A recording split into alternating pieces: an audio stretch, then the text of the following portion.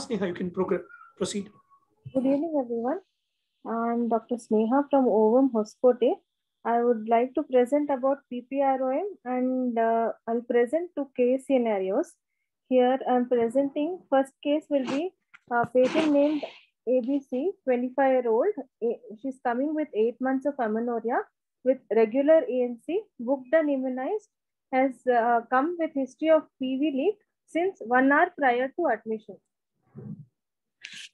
There's no history of pain abdomen, no history of uh, uh, PV bleed. She is uh, 32 weeks by dates and scans are corresponding to it.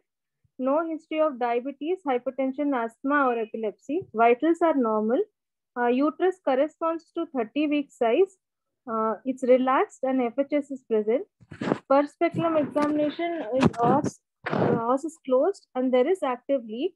The leak is clear. So we came, we got a patient who is a primary, 32 weeks with uh, PPROM. Um, and uh, we have sent uh, CRP total count CBC and uh, her NST was reactive. So we have given her uh, steroids and as she was uh, already 32 weeks, we have not given her any magnesium sulfates, sulfate. Antibiotics were given in ovum, we are giving cefuroxime 1.5 gram IV. And conservative management was done for two days. The NST showed variable decelerations, and as the bishop score was low, uh, she was taken up for emergency LSCS. 1.3 kg female baby was extracted. Baby cried immediately after birth. DCC was done. Baby had mild respiratory distress and was shifted to NICU. So uh, how do you define uh, PPROM? It is a rupture of membranes before 37 weeks of gestation. It uh, complicates around 3% of the pregnancies. It uh, is uh, it causes it, uh, it it causes it is a reason for 30 to 40% of all the preterm deliveries. The risk factors include history of preterm PROM, which is a major risk factor, previous history, uh, history of uh, short cervical length, uh, history of second and third trimester bleeding,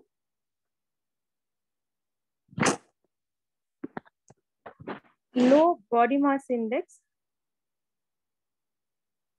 low socioeconomic status,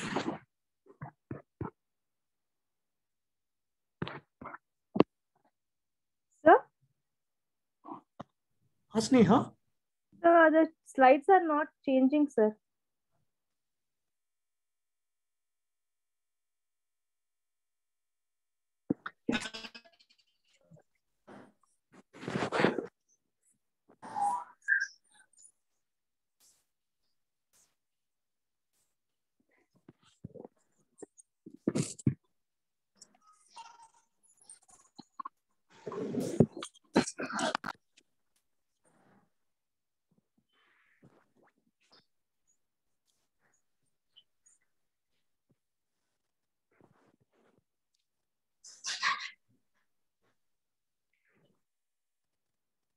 Are you able to see my screen?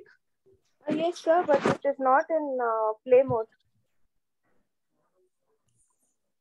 Yeah. Is the slide on risk factors visible now?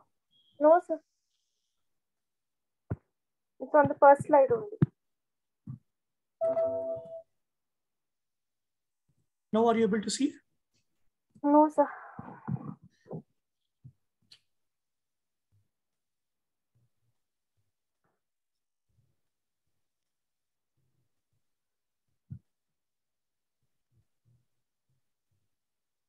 Is it visible now? Mm. No, sir. Actually, I can present, but uh, now it's visible.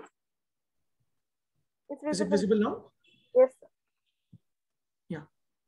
Can you see the risk factor slide now? Yes, sir. Okay, okay, sure. Not sure why it happened. Okay.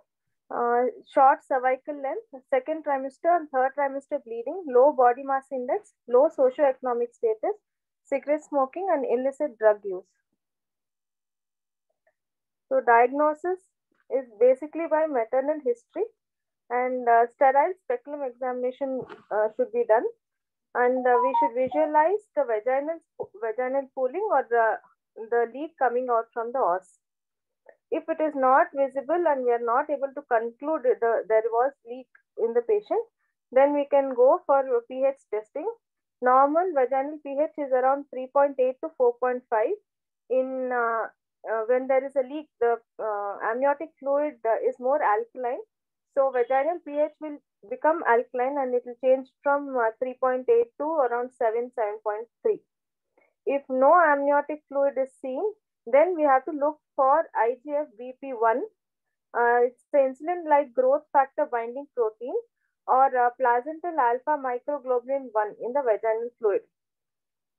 It, uh, there also that these are tests like AmniSure, uh, which will give uh, a more clear idea whether the patient had any leak. Fibronectin is sensitive in preterm cases where uh, there is separation between the membranes and the uh, uterine wall. Role of uh, you can we can also do a sound to assess the fit, but the role is unclear and we have to do an high vaginal swab. Uh, we have to monitor the patient for uh, chorioamnitis. We have to look for pulse, BP, temperature, any symptoms which the patient has, and also look for the respiratory rate. And uh, we have to ask the patient uh, whether she has any lower abdominal pain, abnormal vaginal discharge, fever, malaise, or she has any reduced movements and we should uh, send C-reactive protein and WBC counts, which is recommended around twice weekly. And uh, we have to monitor the fetal heart rate. Coming to the antibiotics, uh, RCOG says erythromycin should be given for 10 days following the diagnosis of PPROM or until the woman is in established labor. And uh, it reduces the uh, neonatal infection, use of surfactant and oxygen therapy, abnormal uh, cerebral ultrasound prior to discharge, it's reduced. But uh, uh antibiotic of choice according to RCOG and ACOG, they say erythromycin 250 mg four times a day for 10 days uh, or until the woman is in established labor, whichever is earlier.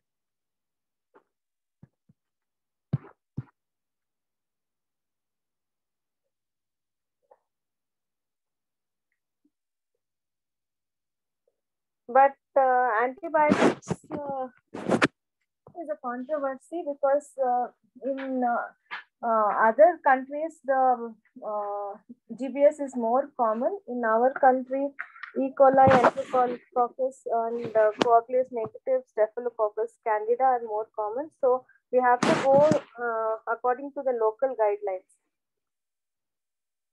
Corticosteroids should be if the patient is less than uh, 34 weeks of gestation and uh, we should consider corticosteroids if it is more than 34 to 36 weeks as uh, fetal risks also are there after with corticosteroids and after we give corticosteroids WBC count will rise for uh, 24 hours after the administration of corticosteroids and it will return to baseline after three days.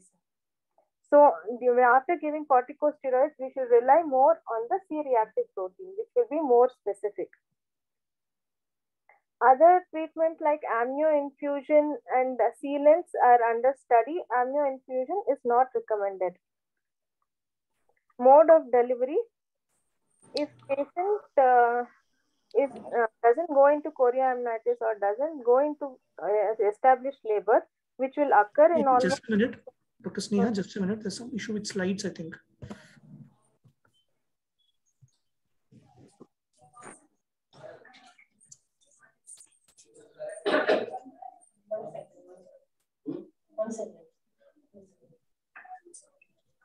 Raman करेंगे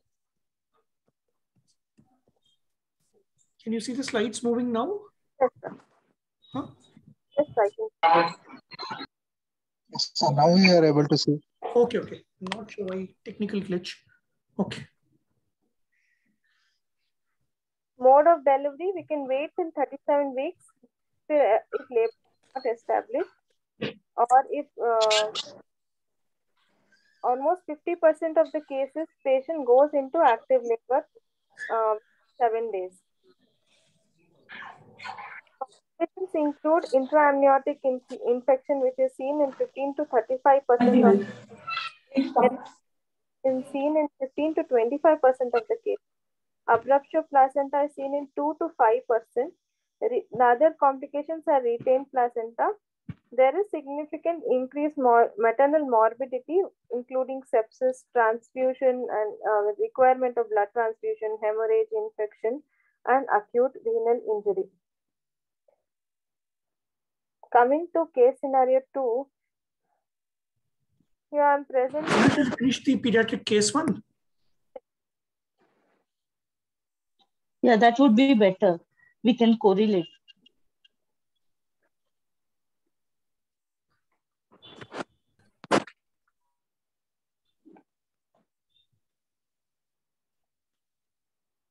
Is my screen visible? No, sir. It's totally-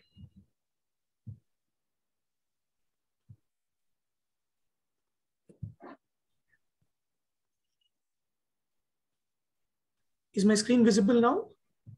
Yes. Yes. Thank you.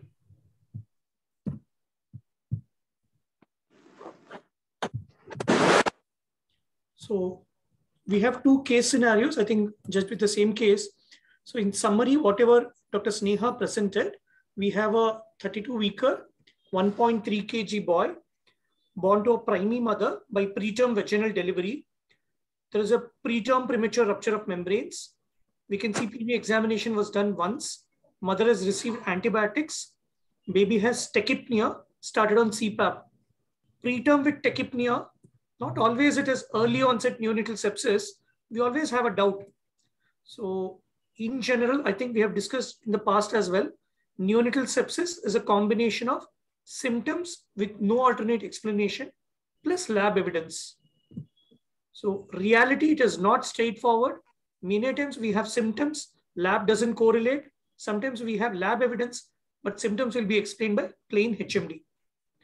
So the big challenge is the diagnosis of early onset neonatal sepsis in neonates because there are many symptoms which can be explained by non-infectious causes ranging from temperature instability, temperature instability by altered environmental temperature, respiratory causes in a newborn due to transient tachypnea of newborn, respiratory distress syndrome that is HMD can also present with tachypnea at birth, and of course other neurological symptoms as well.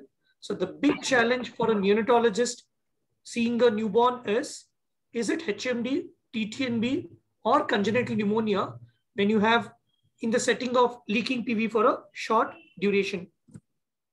So we already know this from the previous session. Screen actually has a good negative predictive value. Although CBC is commonly done, the normal value in the first three days can be 5,000 to 35,000. Simply a count of 20,000 may still be normal for a newborn in the first three days. Low counts is generally more predictive of sepsis. Counts can be raised per se because of birth process or because of asphyxia, MAS or IUGR. You can have a false raise. Similarly, CRP is not sensitive. The sensitivity is only 35% in the first three days. After three days, sensitivity of CRP will increase. Normal babies per se can have CRPs up to 10 to 50.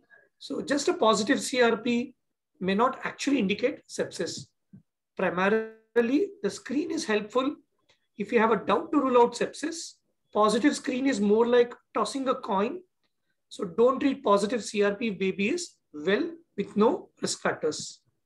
So what I would say is that the background is neonatal sepsis is overdiagnosed. Screen has poor sensitivity. They have negative predictive value, meaning a negative screen gives us confidence. Whenever you have doubt of sepsis, then you use screen to rationalize the antibiotics. Coming back to scenario one, we have leaking PV in the mother and the baby is symptomatic at birth. So it is straightforward, this two by two table. We have maternal risk factors. Baby has symptoms. Infection is likely. So I think uh, people who do not believe this can argue saying that primary diagnosis can still be HMD. But remember, congenital pneumonia can also mimic HMD with secondary surfactant deficiency. So you cannot ignore HMD here. You cannot ignore pneumonia here. So we stabilize the newborn with CPAP, decide on surfactant if you need higher PEEP, higher FiO2. So administer first dose of antibiotics. The confusions will always be there. Give the benefit of doubt to the newborn after blood culture. And everybody would agree with me that sepsis screen will not alter the decision of initiation here. It only helps us to stop if baby improves rapidly. So the summary or message from here is that mother has leaking PV, baby is symptomatic, cause could be either HMD or could be pneumonia. Do not forget to start antibiotics after blood culture.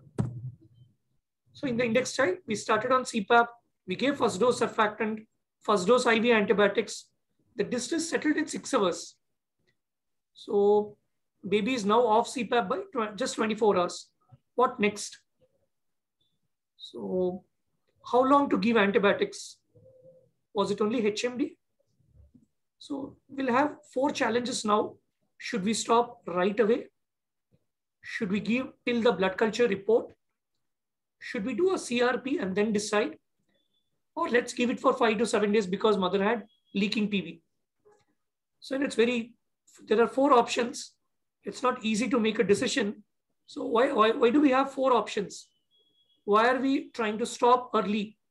So if you look at antibiotic use in preterms, this is the data from the West, which actually says if you have a VLBW, the yellow lines, or if you have a ELBW baby, the blue lines, you can see that 80% of these babies are started on antibiotics in the first three days. First three days.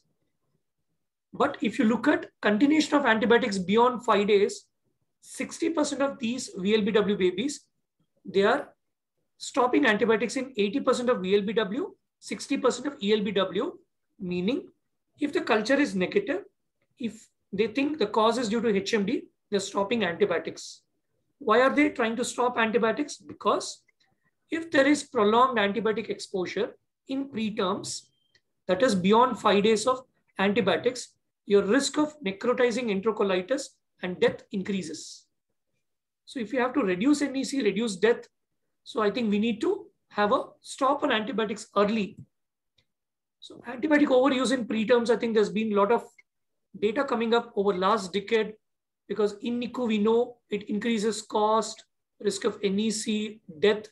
In early childhood, it increases risk of infantile colic, poor growth, atopic dermatitis, allergies. Later on, causes functional gastrointestinal disorders, asthma, obesity. And of course, community, it causes a lot of resistance bugs. So antibiotic overuse is a big challenge you must be wondering it's very easy to speak, not easy to practice. But the big challenge everybody will have in mind is whether will we be missing a case of early onset sepsis. To miss a single case of EOS, people have seen that we end up treating 66 low risk babies with prolonged course. The ideal approach is identify and treat high risk while sparing the low risk. So if you look at our own data at Ovum Hospital, so we actually have a good antibiotic stewardship in place. You can see 40% of our babies, they go home without a single dose of antibiotics. 20% of babies, we are able to stop antibiotics within just 48 hours, that is within just two doses. Only 15% of our babies get antibiotics beyond five days. You can see very minimal babies on Miro, Vanco, colistin. You must be wondering what about survival? Our survival is good despite lesser use of broad spectrum antibiotics.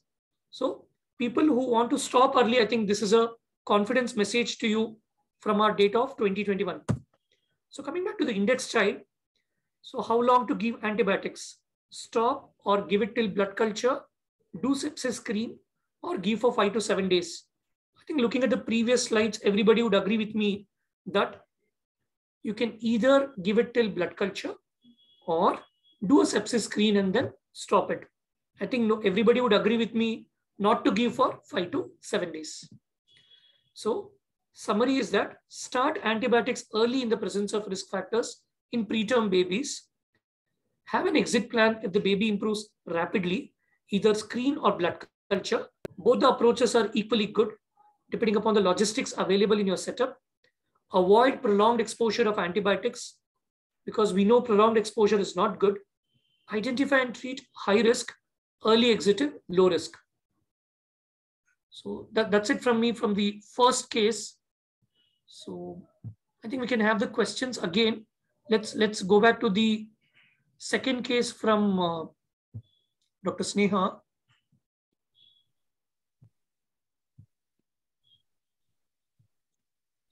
Are you able to see the new screen now?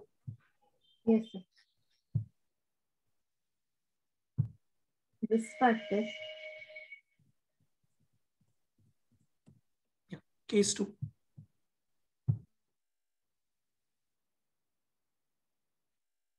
So there's a lag in the screen, sir.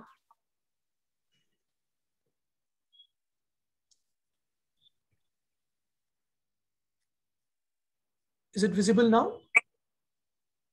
This is XYZ, 32 year old, presents with 34 weeks of pregnancy with history of query leak since one week.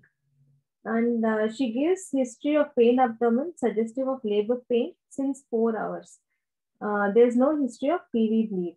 She is booked and immunized outside. Uh, gravida, married uh, since 10 years, conceived on ovulation induction. And uh, her pulse is 104 beats per minute, BP 11070. Uterus corresponds to 30 to 32 weeks size, and uh, uterus is hugging the fetus, like lighter appears less. On uh, per speculum examination, she is 3 centimeter dilated, well effaced, membranes are absent, there's no leak, and uh, PV findings correspond, uh, the, the PS findings are reconfirmed, and vagina is hot and dry. Uh, her investigations, the counts were uh, raised 16,000. CRP is 10. Uh, we gave her injection oxytocin and uh, we uh, accelerated her delivery. She gave birth to a 1.5 kg male baby, which cried immediately after birth, had mild respiratory distress, and was shifted to NICU. Uh, the antibiotics uh, what we gave her was uh, we gave her broad spectrum uh, uh third generation uh, cephalosporins and uh, metronidazole after the delivery. And here hospital guidelines differ and local guidelines should be followed as the incidence of resistant organisms differ Antibiotics are given as per the hospital and maternity guidelines and should be agreed by clinicians and microbiologists.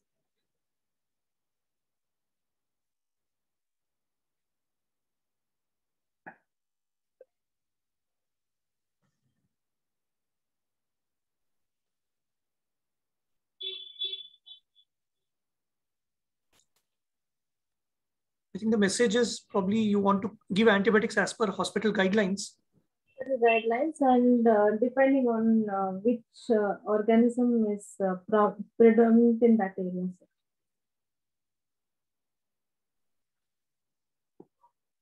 Okay, Let, us see what happened to the newborn.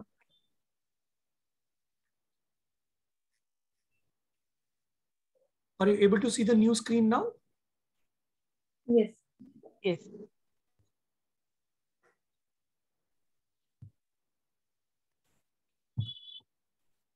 Scenario two is straightforward for us.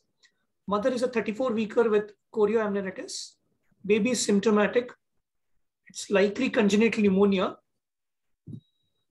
So coming back to our two by two uh, table, I think risk factors are present and baby is symptomatic. Infection is present. So look at the organism profile. Strangely in the West, with very good support or uh, they are able to pick up organisms like this. Organisms commonly identified in chorioamnionitis for them is ureaplasma urealyticum. followed by Mycoplasma hominis, followed by GBS, E. coli. There are anaerobes, Gardnerella vaginalis, bacteroid species, Fusobacterium, and others. So you can see that they have unusual atypical organisms more common than the usual types what we see in our setup. So we, we do have a collaboration. I think last time we did present that. So we are part of a collaboration of Bangalore NICUs and we commonly see in early onset sepsis Klebsiella. We rarely grow a typical organism like ureaplasma, myco, and mycoplasma. So let, let's see. Klebsiella is the most common bug is what we see in our setup. So I think as Sneha mentioned, antibiotic choice should actually be based on local antibiogram data. In our unit, we use amikacin single drug. The national antibiotic policy, of course, if you don't have a local policy, you can use ampicillin and gentamicin. And I'm trying to stress again, we need to avoid third generation cephalosporins as resistance is very high and it increases risk of fungal sepsis in the unit. So as a pediatrician or neonatologist, when we hear the word chorioamnionitis, there are certain things which come to our mind or certain specific features that worry us. Chorioamnionitis can happen with an intact membrane as well. Conventionally, we believe there must be rupture of membranes, but chorioamnionitis can happen especially with mycoplasma or ureaplasma, even with intact membranes. Hematogenous spread is also known with listeria. So in a preterm MSL, we end up giving antibiotics, preterm, meconium, stain, liquor. Most of these chorioamnionitis are polymicrobial infection. They're not a single infection. That's the reason most of our OBG colleagues, they actually use broad spectrum antibiotics to cover both aer aerobic and anaerobic organisms. So two third of these cultures, they say, have more than two organisms. So if you look at the neonatal outcome of chorioamnionitis, you can see the risk of dying is almost 25%. It's a big number there. Risk of septicemia is 28%. So if you look at the converse, 70% babies may not have features of sepsis even when mother has frank chorioamnionitis. You can have a risk of pneumonia by 20%. RDS, the HMD, can mimic in 62%. The big worry is, is the chronicity. Grade 3 or grade 4 intraventricular hemorrhage can be seen in one-fourth. Bronchopulmonary dysplasia or chronic lung disease can happen, and these neonates can also have periventricular leukomalacia, making them at risk of cerebral palsy in future. So chorioamnionitis for a neonatologist is more like a nightmare because it increases the risk in short term as well as long run for the neonate. So coming back to the index child, fortunately, this neonate, although started on CPAP, it required very less FiO2, did not require surfactant. We started first dose IV amikacin. The distress settled in six, six hours. The baby is now off CPAP by 24 hours. How long to give antibiotics? We know the outcomes are not good with chorioamnionitis. Can we have the same approach as the previous case with just leaking PV. So I think again, we have a same challenge. Should we stop now because babies are symptomatic? Should we give it till the cultures? Should we do a CRP? Let's give it for five to seven days because chorioamnionitis is not good for a newborn.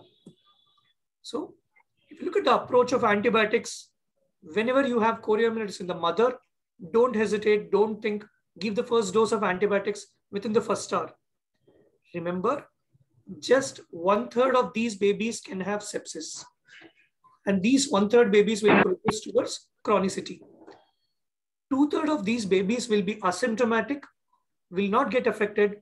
If your cultures are sterile, with confidence, stop antibiotics within five to seven days. This is what American Academy of Pediatrics and CDC says from more than a decade. So more than a decade, the practice is if the baby is asymptomatic, believe the baby, do not believe CRP, stop your antibiotics. If your cultures are sterile. So you believe the baby, believe the cultures. If both are sterile or asymptomatic, stop it. So in summary, mother with chorioamnionitis, start antibiotics for the newborn. Beware of sepsis, pneumonia, IVH in short term. Long run, BPD, PVL, CP risk is always there, but you can safely stop antibiotics if baby is asymptomatic and culture is sterile. So I think I'm trying to give a take home message primarily for pediatric aspect, not for the uh, maternal aspect. So if mother is chorioamnionitis, baby is symptomatic, send blood culture. There's no use of screen, start antibiotics.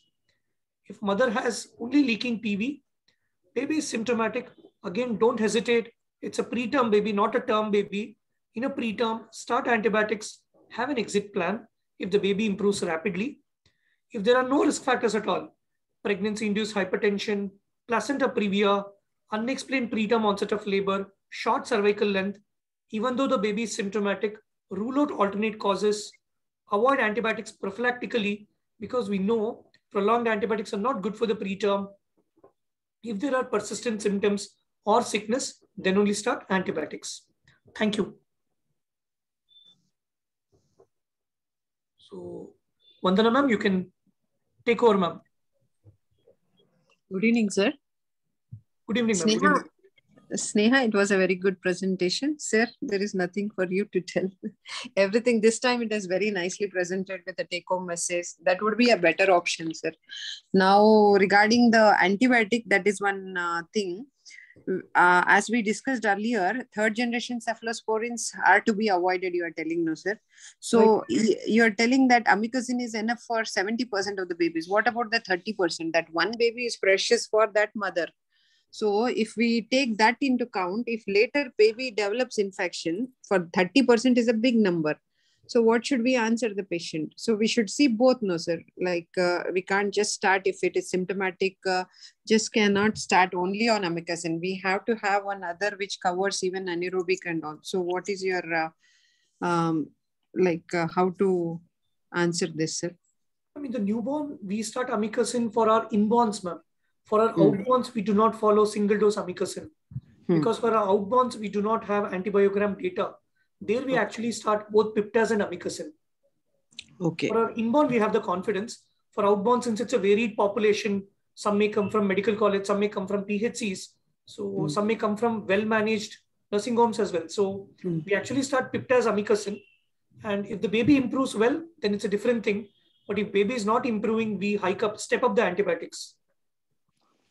So piperacillin tazobactam, you are telling it is better than uh, the uh, like uh, cefotaxime and all, also. Right, ma'am. Right, right. Whatever we are seeing from Kolar, Hoskote region, if mm. you hmm. look at uh, like resistance pattern, cephalosporins mm. are sensitive only in 30% cefotaxime for the newborns, ma'am, not for the mothers. Okay. Ampicillin is virtually resistant. So we use Piptaz because Piptaz plus amikacin is covering over 80% of the bugs. I think Dr. Spurti we have, she has a better picture from entire Bangalore because Anand Lab caters to a large population. Dr. Spurti? Yeah, hello. Uh, thanks for uh, sharing such uh, two interesting cases. Both the cases are um, very well presented. Uh, coming to, um, yeah, Piptaz is better in case um, the local uh, antibiotic pattern shows more resistance. Like as uh, I'll always be in discussion with Dr. Abhishek, uh, we'll be sharing a lot of cases like this and any doubts he'll be calling me and any interesting cases I'll be discussing with him.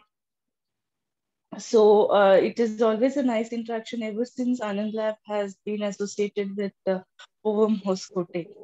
Uh, yes, uh, as sir said, amikacin is enough if the local antibiotic pattern shows good level sensitivity. And uh, if the resistance pattern is more number of MDRs, then start on Piptaz, wait for the culture report, and then take a call on changing, escalating or de-escalating the antibiotics. Okay, and um, uh, I had to ask a few questions to uh, case one uh, of uh, obstetrics whether it was primigravida i missed i couldn't see the slide so i missed it i'm sorry uh, whether it was primigravida or multigravida? Primigravida. Case one, primigravida, is it? Okay. Did you say a previous history of leak? Dr. No. Sneha? Uh, she had history of leak only from uh, one hour. I said uh, that was risk factors for the PPROM is history of previous history of leak. Okay. Uh, okay, fine. Thanks. Uh, coming to uh, the incidents, I mean, the uh, the neonatal sepsis can be caused by bacterial as well as uh, viral. In bacterial, um, group B streptococcus, mostly Streptococcus agalactiae is the most common, com followed by E. coli and any range of this uh, uh, Enterobacter group. Okay, and uh, anaerobic in uh, neonatal sepsis is not very common. And uh, coming to the answer to the question of uh, Dr. Abhishek, why we don't isolate ureaplasma and mycoplasma? Because uh, and mycoplasma are non-cultivable. We have to go for uh, PCR test to detect ureaplasma and mycoplasma. So I uh, I can tell we might have missed ureaplasma and mycoplasma cases. So other than that, all other bacteria are cultivable. Okay, sir. And um, um, what was the other question? Uh, ma'am, ma'am, you, ma'am, you had Dr. Vandana had some queries. Regarding the antibiotic choice, ma'am, because third generation cephalosporins uh, have a high risk of necrotizing enterocolitis. That was Sir's uh, explanation. If it is given for more than five days. So, if at all we had given a third generation cephalosporin for a chorioamnionitis for the mother, for uh, prolonged use, we could have given for about five days, 10 days, or something. Again, we are shifting to some other antibiotics. So, baby will be exposed to so many antibiotics, and baby has a chance of uh, developing more resistance to more number of antibiotics. Correct, correct. So, uh, pi- piperacillin tazobactam is a higher antibiotic than third generation cephalosporins And the antibiotic should be decided based on the local hospital antibiotic pattern. Yeah, we had given for the chorioamnionitis already third generation cephalosporin to the mother, ma'am. Yes, now So the same is higher antibiotic antibiotic. Piptaz is already a higher antibiotic than third generation cephalosporin. So can't we continue the same one to the baby, ma'am? If Uh, as Sir again there- exposing the baby to the new antibiotic. No, no. Uh, uh, the babe, I think uh, Dr. Abhishek can answer for this. Babe, uh, we uh, the number of antibiotics which can be used on baby are very restricted. So uh, they have to choose whichever is safe for the baby. Just because mother was given third generation cephalosporin doesn't mean the kid has to be given third generation cephalosporin. The challenge what we face with third generation cephalosporin, especially ceftriaxone, is ceftriaxone actually causes Jaundice. of bilirubin in the newborn. Yeah, jaundice. It causes jaundice. So ce- ceftriaxone we don't use in uh, uh, even in neo neonates uh, almost up to three months. With Mhm. regards to cefotaxime, units which use cefotaxime, they primarily have fungal sepsis in their units. So Uh, that's why I had one more question. recommended. Uh, I had one more question. This chorioamnionitis case, uh, was the culture sent? Dr. Sneha? Dr. Sneha? Dr. Sneha, was uh, culture sent for chorioamnionitis case? Hello, am I audible? Culture Yes, was sent. Culture was sent. It was sterile, ma'am, in the mother. So whenever uh, you know uh, the vaginal, uh, the genital tract can have either aerobic or anaerobic infection, in such cases, I suggest send for a set of aerobic and anaerobic culture. Don't just send aerobic culture because as you you have only listed so many anaerobic bacteria, right, sir? All of them will be missed in aerobic culture. They won't grow. Yes, Bacteroides, Fusobacterium, Prevotella, Peptostreptococcus, all of this will be missing in aerobic culture. All of them will grow only in anaerobic culture. So I suggest please uh, send a set of aerobic and anaerobic cultures. Uh, in anaerobic cultures, the specimen has to be directly dropped in the Robertson Cook media, which will be provided by our lab. And uh, you can send a set of aerobic and anaerobic cultures. It will uh, improve the diagnosis. It will help us to identify the bacteria. Dr. Smruti, I want to ask you a tough question for you. The okay. big challenge is we always say antibiotics has to be based on local antibiogram data. Correct. So not many people will have antibiogram data because chorioamnitis incidence is quite less, fortunately, off late. Correct. So In such cases, their antibiotic choice. What should be their antibiotic choice? Sir, uh, uh, if there is no local policy, you can go, you can, local hospital policy, you can refer to the national policy, which you already displayed. Even I have a copy of national antibiotic policy. Uh, and you have to follow that and see whether the patient is improving. If the patient is showing deterioration, then you have to take a call on changing the antibiotic and uh, next other symptomatic treatment. Like, what is your experience about uh, maternal cultures? Are they sensitive to ampicillin? Because the national policy says use ampicillin and most of our uh, colleagues will agree that ampicillin resistance is quite high in our region. Okay, uh, we had got a set of amniotic fluid samples from one of the uh, gynecology hospitals. I cannot reveal the details. Um, in among the amniotic fluid